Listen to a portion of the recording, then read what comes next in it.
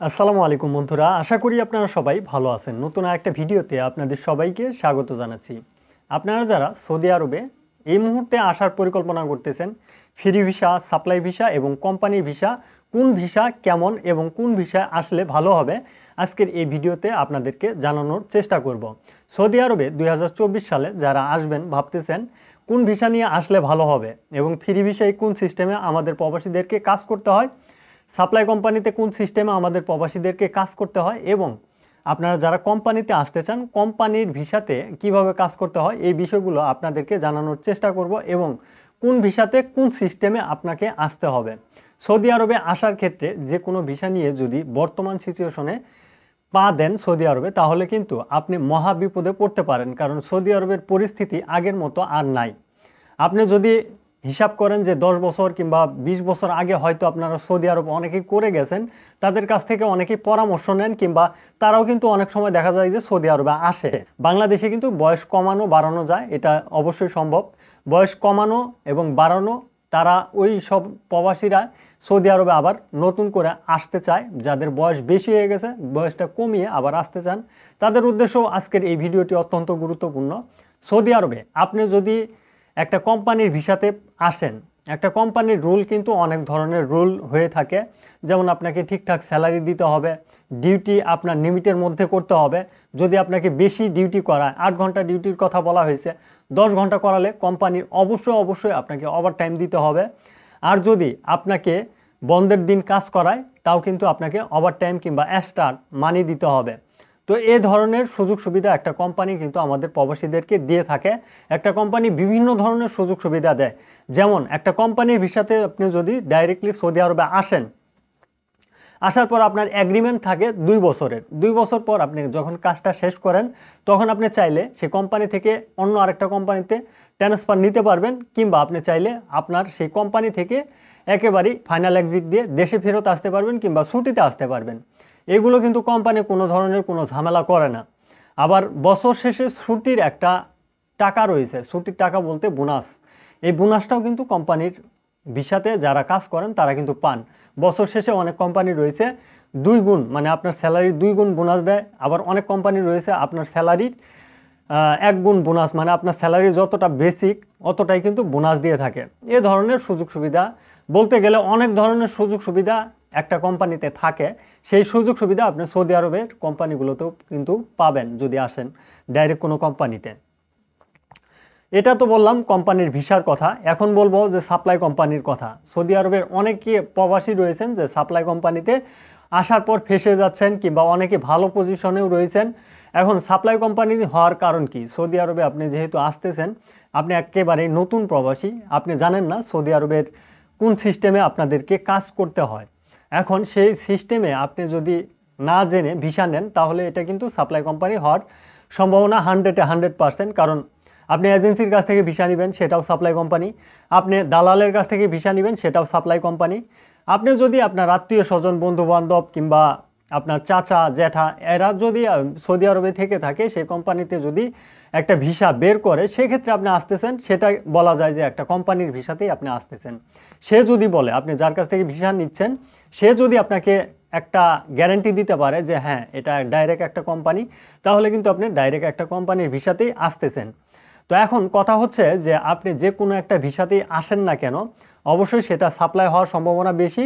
যদি দালাল কিংবা এজেন্সির কাছ থেকে আপনারা ভিসা নেন, অনেক সময় দেখা যায় যে আত্মীয় স্বজনও কিন্তু বাটপারি করে বসে। করার কিছু থাকে না। এখন সাপ্লাই কোম্পানিতে আপনার যে কফিল থাকবে, সৌদি আরবে আপনি যখন আসবেন, আপনার কিন্তু নিজস্ব একটা কফিল থাকবে। সেই কফিলের নিজস্ব কোনো কাজ নেই। মানে আপনার যে কফিল যে আপনাকে ভিসা দিয়েছিল সৌদি নাগরিক, তার কোনো নিজস্ব কাজ নেই। সে ভাড়াতে আপনাকে কাজে লাগাবে। এখন যদি ভাড়াতে আপনাকে অন্য আরেকটা কোম্পানিতে কাজে লাগায়, সেক্ষেত্রে কিন্তু আপনার কফিলের সাথে সেই কোম্পানির একটা এগ্রিমেন্ট হচ্ছে। আপনার সাথে কিন্তু আপনার কফিলের এগ্রিমেন্ট আপনার কফিলের সাথে আপনার সেই যে কোম্পানিতে আপনি কাজ করবেন সেই কোম্পানির একটা এগ্রিমেন্ট মানে আপনাকে যদি চার হাজার ইয়ালে বিক্রি করে দেয়, আপনার কফিল কি আপনাকে চার হাজার ইয়ালি দিবে? না। আপনাকে অবশ্যই এক হাজার কিংবা আটশোশো কিংবা বারোশো রিয়াল এরকম কিন্তু আপনাকে দিতে পারে। তবে সাপ্লাই কোম্পানির ম্যাক্সিমাম কোম্পানি দেখা যায় যে কফিল ঠিকই আপনার কাছ থেকে টাকা নিচ্ছে। মানে আপনি যে কাজ করতেছেন সেই কোম্পানি ঠিকই কিন্তু আপনার কফিলকে মাস শেষে টাকা দিয়ে দিচ্ছে। কোম্পানির আর কফিলের সাথে কন্ট্যাক্ট থাকে, পঁচিশ তারিখ থেকে পঁচিশ তারিখ, কিছু কিছু কোম্পানি রয়েছে বিশ তারিখ থেকে বিশ তারিখ কিংবা কিছু কিছু কোম্পানি রয়েছে পনেরো তারিখ থেকে পনেরো তারিখ। কিন্তু আপনি তো কাজ করতেছেন এক তারিখ থেকে এক তারিখ। আপনাকে সেই অনুযায়ী স্যালারি দেয়। কিন্তু কফিল কিন্তু অলরেডি টাকাগুলো পেয়ে যায়। এখন আপনারা এক মহাশাসাতে যদি দশজন আমেলও থাকেন, সেই দশজন আমেলের টাকাও কিন্তু ওই কোম্পানিটা দিয়ে দিচ্ছে। এখন আপনাকে যেহেতু কফিল টাকা দিচ্ছে না, সেটা কিন্তু সেই কোম্পানিকে আপনি ধরতে পারবেন না। আপনি যদি বলেন যে আমি স্যালারি পাইনি, আমি এখানে কাজ করব না, সেই কোম্পানি বলবে, ওকে, তুমি কাজ না করলেও সমস্যা নেই। আপনার কফিলকে কিন্তু সেই কোম্পানি বলে দিবে যে আপনি কাজ করবেন না। আপনার পরিবর্তে আরেকটা, আপনার মতোই আরেকটা আমেলকে পাঠিয়ে দিবে। মাঝখান থেকে কি হলো? আপনি কিন্তু কাজটা হারালেন। মানে আপনি স্যালারিও পাচ্ছেন না, আপনি কাজও করছেন না সাপ্লাই কোম্পানির একটা সিস্টেম হচ্ছে, আপনি যদি কাজ করেন তাহলে স্যালারি পাবেন। আপনি কাজ করবেন না, আপনাকে স্যালারি দেওয়া হবে না। তো এই ধরনের সিচুয়েশনে সৌদি আরবের অনেকটাই কাঠখড় পুড়িয়ে আপনাদেরকে সাপ্লাই কোম্পানিতে কাজ করতে হয়। অনেকেই দেখা যাচ্ছে যে চার মাস, পাঁচ মাসের স্যালারি পাচ্ছে না। আবার অনেকেই দেখা যাচ্ছে যে ডিউটি করতেছে, কফিলই খুঁজে পাচ্ছে না, সে ডিউটি করতেছে। কিন্তু আপনার কোম্পানি, আপনি যে কোম্পানিতে কাজ করতেছেন, সে বলতেছে যে আপনার কফিলের কাছে সে টাকা পাঠিয়ে দিচ্ছে মাস শেষে। এখন এমন তো অবস্থায় আমরা বাংলাদেশ থেকে যখন সৌদি আরবে চলে আসি, তখন কিন্তু দেখা যাচ্ছে যে আমরা লাখ লাখ টাকা খরচ করে সৌদি আরবে আসি, তিন লাখ, চার লাখ, পাঁচ লাখ টাকা খরচ করে সৌদি আরবে আসি। তো এমন তো অবস্থায় কেউ কিন্তু চায় না যে সেই কোম্পানি থেকে আমরা চলে যেয়ে অবৈধ হয়ে যেতে। আর অবৈধ যদি আমরা হয়ে যাই একবার, তাহলে কিন্তু পুলিশ যদি আমাদেরকে আটক করে ফেলে সে কিন্তু দেখবে না যে আপনি কত দিন ধরে আসছেন কিংবা কত টাকা ইনভেস্ট করে সৌদি আরবে আসছেন। এগুলো বিষয়গুলো কিন্তু পুলিশে দেখবে না। আপনাকে দেখবে যে আপনি রং কাজ করতেছেন এবং আরেকখানে যে কাজ করতেছেন, কফিল ব্যতীত কাজ করতেছেন, এগুলো কিন্তু অবশ্যই ধরে নিবে। সৌদি আরবের শ্রম আইনের মধ্যেই এগুলো পড়ে। আপনার যদি কফিলের কাজ থেকে আপনি অন্য আরেকটা কাজ করেন, তাহলে কিন্তু কফিল কোনো সময় যাইবে না আপনাকে সারিয়ে আনতে। তো অবশ্যই এই বিষয়গুলো আপনারা খেয়াল রাখবেন। সৌদি আরবের সাপ্লাই কোম্পানিতে কাজ করা অনেকটাই এখন টাফ ব্যাপার হয়ে গেছে। আবার দেখা যাচ্ছে যে আপনারা নতুন সৌদি আরবে আসতেছেন, আপনার কফিলের যে পুরাতন লোক, সেগুলো কিন্তু অলরেডি বসে আছে। যেখানে পাঁচজন লোকের জায়গা হয় না থাকার মতো, সেখানে কিন্তু পঞ্চাশ জন, একশো জন লোক একটা রুমে গাদাগাদি করে থাকতেছে। তো এই পরিস্থিতি আপনার ফেস করতে হবে সৌদি আরবের সাপ্লাই কোম্পানিতে আসলে। এখন আমরা কিন্তু চাই না কেউ সাপ্লাই কোম্পানিতে আসতে। আসলে সাপ্লাই কোম্পানি হয়ে যায়। আমরা পরিস্থিতি শিকারে সাপ্লাই কোম্পানিতে চলে যাই। অনেক সময় দেখা যায় যে আপনি একটা দালালকে পাসপোর্ট দিয়েছেন পাসপোর্টের সাথে পঞ্চাশ হাজার টাকা দিয়েছেন। এখন ওই পঞ্চাশ হাজার টাকা যদি আপনি বাঁচাতে যান, তাহলে আপনাকে সৌদি আরবে আসতে হচ্ছে। কারণ আপনি পাসপোর্টের সাথেই টাকা দিয়েছেন। এখন আপনাকে খারাপ ভিসা দেখ ভালো ভিসা দেখ যে কোনো ভিসাই দেখ না কেন, আপনাকে সেটা মেনে নিতে হবে। তো এই বিষয়গুলো নিয়ে কিন্তু আমাদের প্রবাসীদের একটু বিভ্রান্তিতে পড়তে হয় কিংবা এজেন্সির ধোকাবাজিতেও পড়তে হয়। তো এগুলো অবশ্যই একটু ভেবেচিন্তে আসার চেষ্টা করবেন। এখন বলব যারা ফ্রি ভিসাতে আসবেন সৌদি আরবে। যারা সৌদি আরবে ফ্রি ভিসায় আসবেন, ফ্রি ভিসায় ওই সাপ্লাই কোম্পানির মতো কাজ না হলেও আপনি যেহেতু আপনার মন মতো কাজ করতে চান, যেমন আপনি যখন যেটা পাবেন সেই কাজটাই আপনি করবেন সৌদি আরবে আসার পর। এখন আপনি একটা ফ্রি ভিসা নিয়ে সৌদি আরবে আসলেন প্রথমে আপনাকে ভাবতে হবে যে আপনি ফ্রি ভিসায় আসার পর আপনার যে একটা খরচ রয়েছে, সেই খরচটা কি আপনি বহন করতে পারবেন কিনা? হয়তো অনেকে বলতে পারেন যে, ভাই, পকেট খরচ নিয়ে আমরা টেনশন করি না। আমি পকেট খরচের কথা কিন্তু বলতেছি না। আপনার যে ফ্রি ভিসা সেই ফ্রি ভিসায় কিন্তু একটা মোটা অঙ্কের খরচ রয়েছে। সেটা হচ্ছে আপনার ইকামা করতে হবে। আর সৌদি আরবের ইকামা, যদি বড় মহাসাতে আপনি চলে আসেন, তাহলে আপনার ইকামা বছর শেষে নয় হাজার ছয়শো রিয়াল এটা আপনার ইকামা খরচ। তার সাথে ইন্স্যুরেন্স খরচ রয়েছে। তার সাথে আপনার কফিলের ফায়দা রয়েছে। অবশ্যই প্রত্যেক মাসে যদি আপনার কফিলকে তিনশো রিয়াল করেও ফায়দা দেন, আপনি হিসাব করে দেখবেন যে বারো মাসে মানে আপনি যে তিনশো পঁয়ষট্টি দিন কাজ করবেন, আপনার কফিলকে কত টাকা ফায়দা দিতে হবে? তো অবশ্যই ছত্রিশশো রিয়াল আপনাকে ফায়দা দিতে হবে। এটা নিম্ন এবং আপনাকে দশ হাজার রিয়াল গুনতে হবে। তার মানে আপনাকে কিন্তু বারো, তেরো হাজার, চোদ্দ হাজার টাকা প্রত্যেক বছর শেষে মানে সৌদি আরবের রিয়াল এটা রেখে দিতে হবে। এখন বাকিটা আপনি যা ইনকাম করেন, যদি মাসে পাঁচ হাজার করে ইনকাম করেন, তারপরও আপনি সৌদি আরব বৈধ থাকতে পারবেন। তিন হাজার করে ইনকাম করলেও বৈধ থাকতে পারবেন। কিন্তু আপনি যদি দুই হাজারের নিচে বর্তমানে ইনকাম করেন, বড় একটা মহাসংস্থাতে আসার পর আপনি কিন্তু সৌদি আরবে টিকতে পারবেন না। কারণ আপনার ব্যক্তিগত খরচ রয়েছে, পাশাপাশি কিন্তু আপনার কফিলের ফায়দা, আপনার ইকামা খরচ ইন্স্যুরেন্স খরচ যাবতীয় খরচগুলো রয়েছে।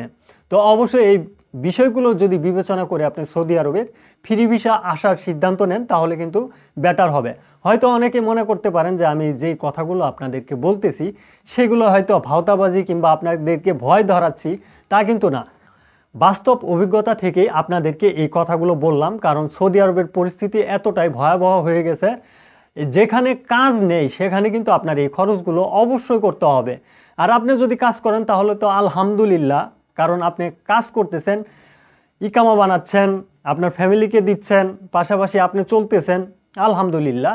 তাহলে আমি আপনাদেরকে বলব, আপনি চলে আসেন সৌদি আরবে এবং আপনি যদি কোনো কাজ জানা প্রবাসী হয়ে থাকেন, যেমন আপনি হাই প্রফেশনাল লুক ড্রাইভিং জানেন, ভালো কোনো গাড়ি চালাতে পারেন এবং আপনি চাইতেছেন সৌদি আরবে আসবেন ফুড ডেলিভারি করবেন কিংবা বিভিন্ন ধরনের কাজ রয়েছে গাড়ি দিয়ে, সে কাজগুলো করবেন, আপনি চাইলে আসতে পারেন। পাশাপাশি আপনি ইলেকট্রিকশিয়ান ভালো ইলেকট্রিকশিয়ান হাই প্রফেশনাল তো অবশ্যই সৌদি আরবে আসতে পারেন, কারণ সৌদি আরব আপনার জন্য অপেক্ষা করতেছে। যারা কাজ জানেন, তারাই কিন্তু সৌদি আরবে বর্তমানে সাইন করতে পারতেছেন। আর যারা কাজ না জানেন, তারা কিন্তু একটু বিপদেই রয়েছেন। অনেকেই রয়েছেন যে একেবারে ফ্রেশ লুক, কোনো ধরনের কাজ জানেন না। সেক্ষেত্রে আপনি সৌদি আরবে একটা ফ্রি বিষয়ে আসতেছেন। আপনি ভাবতেছেন, একজনে করতেছে, একজনে ভালো টাকা ইনকাম করতেছে, আমি গেলেও হয়তো অনেক টাকা ইনকাম করতে পারব ফ্রি ভিসাতে এই ধরনের চিন্তা ভাবনা নিয়ে অনেকেই কিন্তু সৌদি আরবে পাড়ি জমান। তারপরে কিন্তু আসলে মহাবিপদে পড়ে যান। আপনাদের অবৈধ হয়ে যাওয়া ছাড়া উপায় থাকে না। তো অবশ্যই এই ধরনের সিচুয়েশনে আপনারা একটু বুঝে শুনে আসার চেষ্টা করবেন। আর পরিশেষে আমি আপনাদেরকে একটা কথাই বলব যে, সৌদি আরবে বর্তমানে আপনারা যারা ভালো কোনো কোম্পানিতে ডাইরেক্টলি আসতে চান, তাদের উদ্দেশ্যে আপনারা যদি সৌদি আরবে কোনো ভালো প্রতিষ্ঠানে আসতে চান, তাহলে আমি বলব যে, সৌদি আরবে তো এখন ভালো কোনো প্রতিষ্ঠানের ভিসা দেয় না। যেমন আলমারাই কোম্পানি, আরামকো কোম্পানি এছাড়াও আরও বিভিন্ন ধরনের কোম্পানি রয়েছে হাইপার পান্ডা লুলু এই ধরনের কোম্পানিতে আপনাদের কাজ করার একটা মন মানসিকতা রয়েছে এবং আপনাদের একটা স্বপ্ন রয়েছে। সৌদি আরবের ভালো একটা প্রতিষ্ঠানে আপনারা কাজ করবেন।